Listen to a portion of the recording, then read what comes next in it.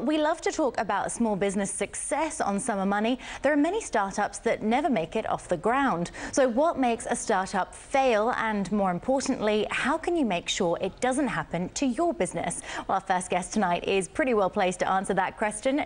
Rick Chisholm is of the founder of the Innovest SME and specializes in turning businesses around. Rick, welcome to you. Thank you so much for joining us. Thank you, now, as I mentioned in the introduction, Summer Money is a show where we, we celebrate small business and we celebrate small business success. But as we flagged, you know, there are often a lot of challenges that entrepreneurs and startups face that they can't necessarily overcome. Talk us through your experience and what you've seen in this sector. Well, uh, that's a very good question, Natalie. A lot of uh, startups, especially, end up struggling with business knowledge from the get go. So they come out of university, they have all this knowledge, and then they find out when they go into uh, running their own business, all of a sudden they're not so flash out of nine out of ten other, other things that they could have been, you know, learning before they went into business. Mm. So it's a, it can be tough from the very beginning. So what do you label as being then, I guess, the top five points as, as to why startups fail?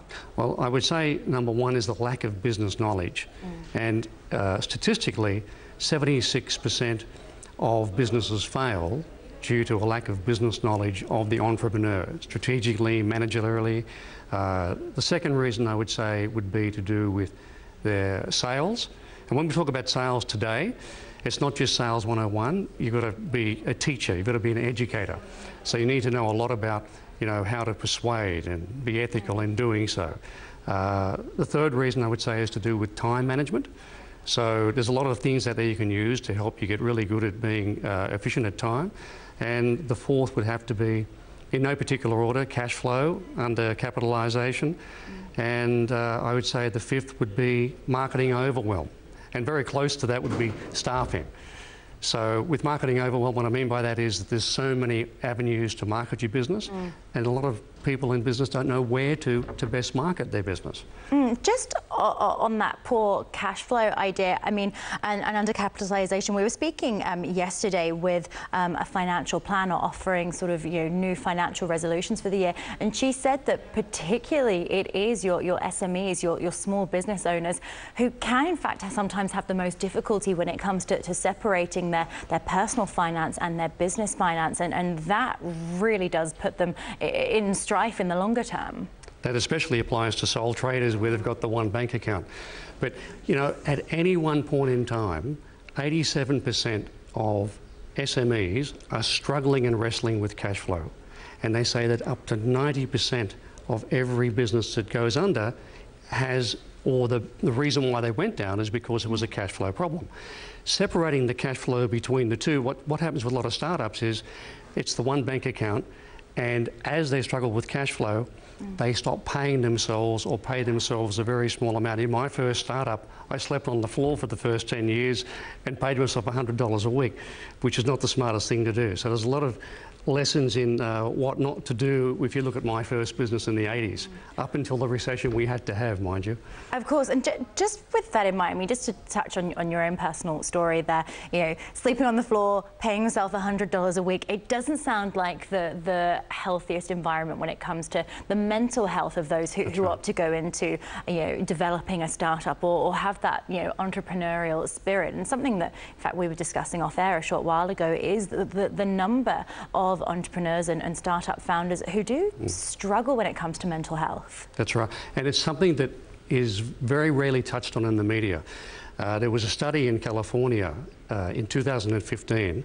So 49% of entrepreneurs reported, startup entrepreneurs reported having mental health issues. And in Australia, it was, it's recognised to be more than 30%, which is more than double the average. So, you know, when you're a month away from going broke and there's all these expectations on you to be so successful in business or at least succeed and survive, it's, it's understandable that you're right on the edge the whole time. Does that make sense? Mm, absolutely. You know, uh, my, my dad, a, a, small business owner, I've seen uh, over in the UK, and I've seen him him mm. go through, you know, a, a housing crisis, a um, global financial crisis, and it is. It's it's unsurprising that you mm. do see people who take on a lot of this, um, you know, weight and and business weight, particularly why they would struggle in that marketplace.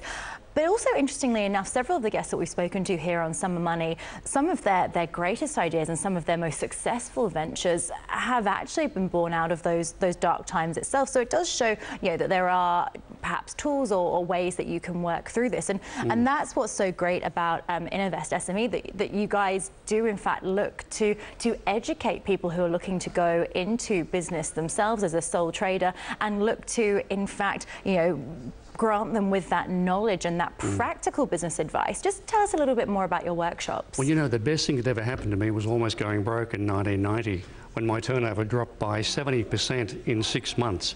So the lessons that I learned in the 80s, I put into practice when I relaunched my business in the 90s and we went from keeping essentially one cent on the dollar to 30 cents on the dollars.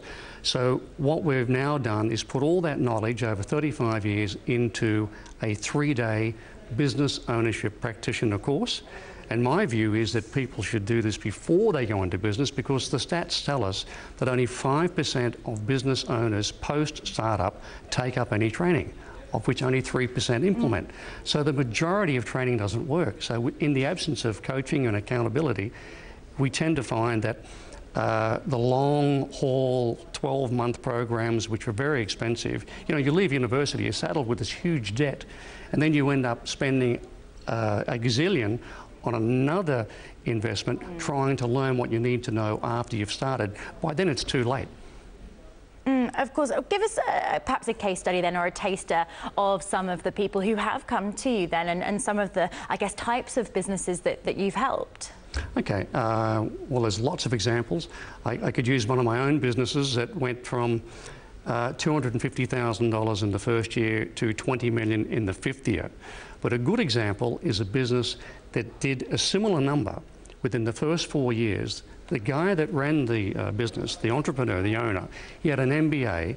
He'd never heard of the ACCC. He'd never heard of the DFT. He'd never heard or dealt with any lawyer ever. Mm. And he got himself into some difficulty. That business is now gone.